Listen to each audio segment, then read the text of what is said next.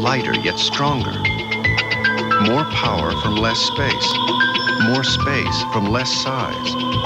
A drag coefficient among the lowest in the world. There's more than a pattern emerging here. It's the world's first use of cyber synthesis, where vehicles are designed, built, and tested in the virtual world so they'll perform better in the real world.